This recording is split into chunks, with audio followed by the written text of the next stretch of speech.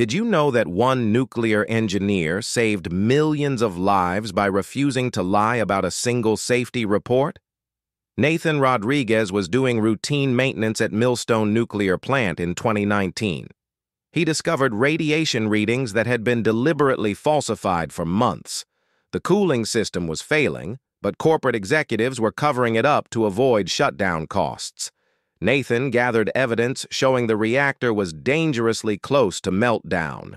His bosses threatened to fire him and destroy his career if he spoke up.